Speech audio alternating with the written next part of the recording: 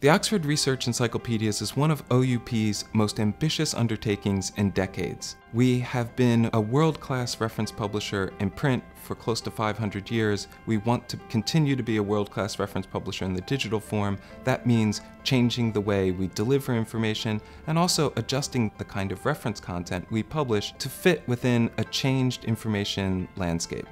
Across academic disciplines, at all levels of research, students, scholars, scientists, we hear the same thing.